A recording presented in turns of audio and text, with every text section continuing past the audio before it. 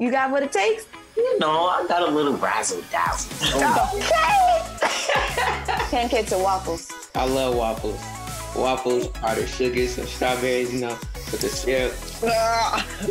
You know what I'm saying?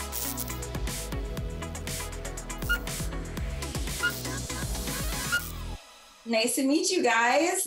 Nice to meet you too. Thank you so much for hanging out with me today. Thanks for having us. Exciting.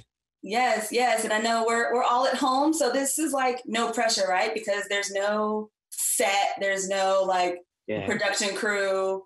It's just Yeah. us just chilling. Yeah. Yeah. All right, all right, cool, very cool. Well, you know, I want to jump in, and I'm just not ready to accept the fact that y'all looking grown now. Yes. I, Every year we come back and it's like Mikey taller, Alex voice deeper. It's Right? Yeah. Crazy. Every Like, year. what is I think I think really that's the point of the show. They want to see young black men grow up in a society that it's hard to grow up in. I really think that's what the main story is about, like what we're going through in a sense and how we are growing up. And a lot of the stuff people in the show don't agree with because we were like little babies now. We're smoking weed, we're doing this with, you know, girls and stuff like that. But it's how we are like in real life as kids and it really shows the grown folks what we have to go through and what kids have to go through. I think that's important too, and that's part of you know what's great about starting the show when you're younger, and then each Yeah. season you kind of see all of the stages um, that you guys go through. And Yeah, it's that- like you watch this. It's like you grew up with us throughout the show. You're watching us grow. It's like you're there with us. For real, it really feels that way. That's why I came back in season or episode one, season four. I mean season three. I'm like, what? what happened? Hold on. Let's pause. For sure, yeah. And Shamon, you have a birthday coming up, right? Yeah, this Friday. Wait, how old are you turning? I'm turning 16. And are you guys like starting to learn how to drive, or I actually got my permit. Yeah. really? To get my Yeah. license Oh, you getting your license? Okay. when I hit What about you, Michael? Uh, I have yet to get my permit. I just started high school, but yeah, I'm learning how to drive. Okay, okay. That, that's what's up. That's what's up. Okay, so Alex, I need to talk about your character's new environment in school, and I guess uh, Michael's yours as well in this Mhm. new school, and also Kevin's new bay, Gemma. Um, one scene that really like um, stuck out for me is when she comes up to y'all's character in the hallway, and she's like look, like how y'all act reflects on me, whether I like it or not, you know, and we can't just be excellent, we have to be phenomenal. And so I'm interested to see, to hear your thoughts on that because the Black community already has a lot of pressure to be above and beyond, to go that extra step, to always, you know, be that phenomenal person. So, Alex, curious to know your thoughts on that. Um, honestly, I think Gemma gave Kevin a push because really he just wanted to go to the school to make his mom happy, you know?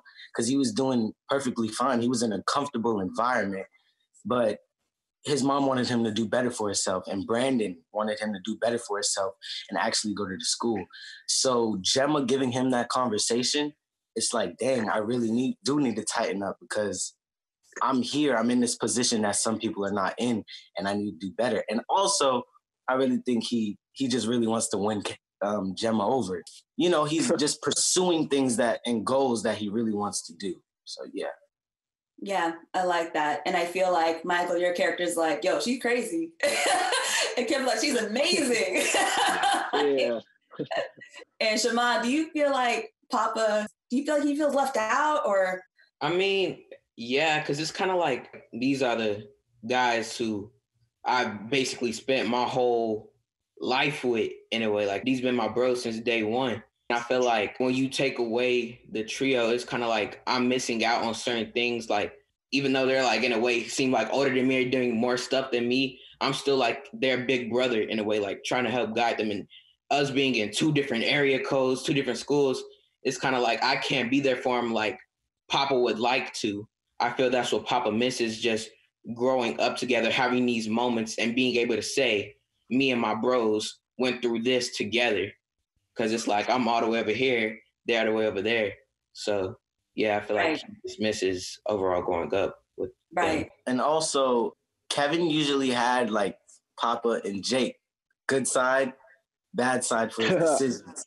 So it's like missing the good side. It's like, oh shoot, what am I gonna do without Papa? I I have to resort to Jake, but it's like, I know Jake ain't gonna steer me in the right direction hundred percent of the time.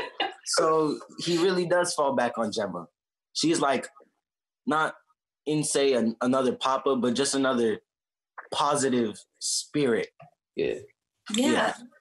So, Michael, I want to chat with you about your Mhm. music a little bit. What's going on with that? I heard your single that dropped late last year called Drip. Well, with music itself, it wasn't something like we planned to do. Like we was in the studio, we got the beat, you know, we we started writing down the lyrics. We got I got in the booth, I started putting it down. We was just like, sound good, you know, we like it. So you know, slash artist on my resume now.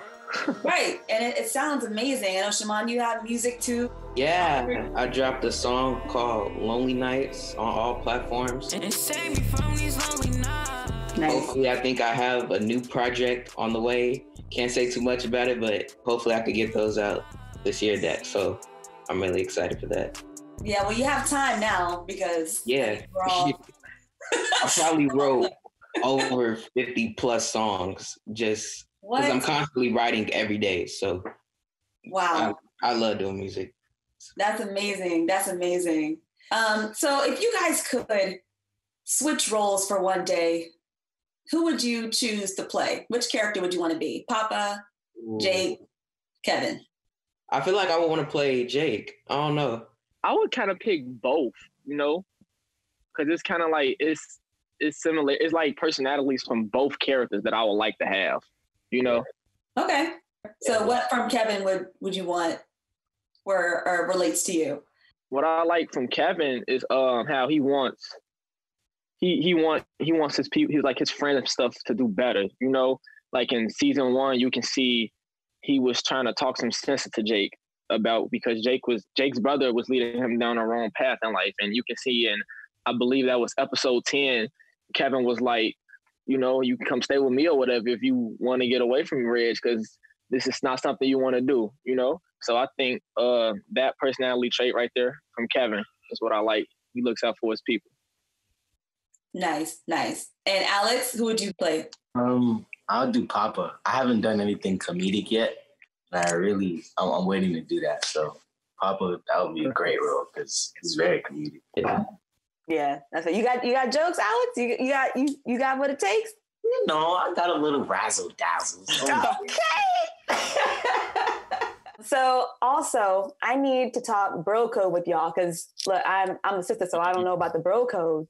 But Papa is talking to Maisha now, and I'm like, wait a minute, like, how how does that work with the bro code? That that feels like it got broken to me. Shamon, I'll start with you.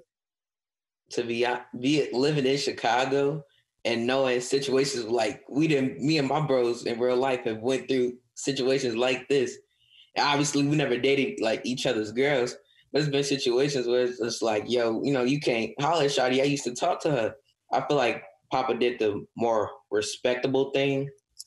And Kevin growing up and maturing, I felt like it was him like like saying, yo, you know, I respect you coming to me as a young man and saying, hey, bro, like I want to shoot my shot, Maisha, versus it being a whole argument and Right, saying, oh, Papa, you you dirty for that. right, right. And we we can't see Papa get dirty. We can't we can't Right. do that. That would have been interesting to see though, to see like how y'all would have you know went at it. Like Alex, what do you think? Would that be your in real life your reaction if your friend were like, "Hey, like, you mind if I shoot my shot, bruh?" Um, if he um, I mean, the situation has to come to me. It has never been bringing to me, or they've never came to me about it. But you know, life is what it is. Everybody move on, doing new and better things, and improve themselves as people. So I mean, hmm. it, it kind of is breaking bro code to me. I, I wouldn't necessarily accept it, but some people do it. It's life. Yeah, man. I guess sometimes you just have to roll with the punches. Yeah. And speaking of, I think we lost Michael, uh, but I think he's gonna try and hop back on. Yep, here he is. Hey, Michael, look, you've uh, switched locations on us. Thanks for jumping back in. You look great. You're welcome. So, anybody who hasn't been living under a rock knows that y'all both from Chicago.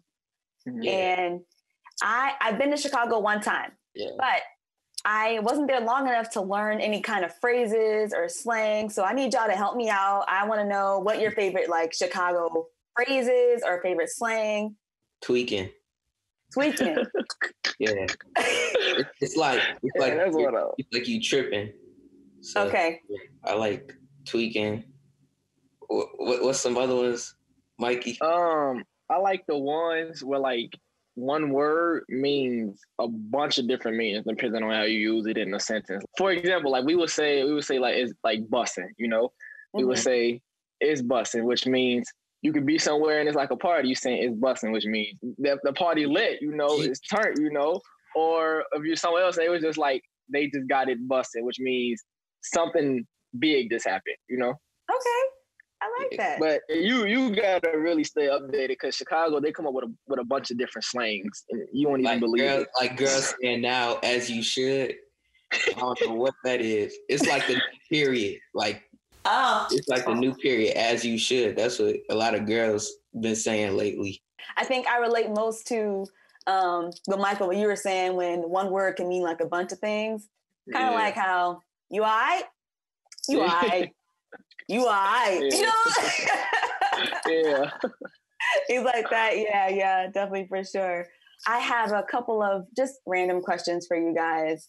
I'll just shoot around the room. So, Alex, pancakes or waffles? Pancakes. Oh, all right. we can still be friends. It's cool. It's cool. You don't like pancakes? L- listen, I, I I love pancakes, but waffles give you that texture. You know, Mm. Yeah, Hey, you don't get much flavor. you agree? Yeah, I love waffles. Waffles, powdered sugar, some strawberries, you know, with the. Ah. You know what I'm saying? Shamon, are you a homebody or you like need to get out and be in the crowd? I'm a homebody. If I do not have to leave the house, I will not. I will stay in the house. Cause like I got everything I need. I could record songs. I could food. You feel me? hmm Uh, and I do online school. I do homeschool. So that Okay. it wasn't really hard to adjust to being a homebody. All right, um, Michael, what do you wish was open right now during quarantine? the gym. The Mm. gym. I just wish that was open the gym. All you have to do is get a Peloton bike. You said what? You just got to get a Peloton bike and start your home gym. That that gym and like the basketball gym too. Those two gyms. Okay. And and I'll probably say uh like I'll probably say like malls or somewhere I go shopping because I'm not really an online person. I don't like to wait. Like I want it right then and there. I, I hate waiting. My, I will wait if I have to, but if I don't have to, then no. Interesting. Interesting. I'm more of an online. I'll go in person, but I think I spend more money online. So maybe I should go in person more. So thank you guys so much for hanging out with me today. Um, before I leave you, I just wanted to let you guys know that I'm so proud of each and every one of you. You know, our community is really aching right now. And so to see you guys on screen doing your thing, bringing that Black excellence all in one spot, it really brings me a lot of joy. So I just want to say, y'all stay up, stay blessed. And it was such a pleasure talking with y'all today. Thank, Thank you for having us. Thank Thank you. Oh, no, thank you for having us. Definitely, definitely. All right, y'all, ha- y'all have a good day. You too. All right, you too. All right, bye. All right. Chicago is the greatest city on this planet. It's time for change. That's how that shut down made me. That's how my daddy raised me. She's been missing for days. Y'all know we can't depend on the police. We gotta lean on each other. This city wasn't meant to be a jungle. We're so much more than that. If you're with me, let me get an amen.